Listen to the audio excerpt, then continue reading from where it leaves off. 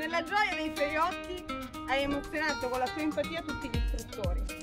Hai timonato con coraggio, ma la prora è la tua libertà. Brava!